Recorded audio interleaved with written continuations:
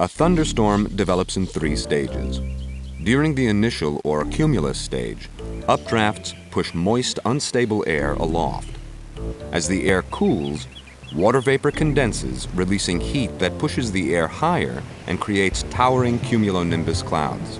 Rain begins during the second or mature stage, which presents the most violent weather, including lightning, hail, and severe turbulence. Strong downdrafts are the main feature of the third or dissipating stage. They rapidly exhaust the storm's energy, leaving fragmented clouds behind.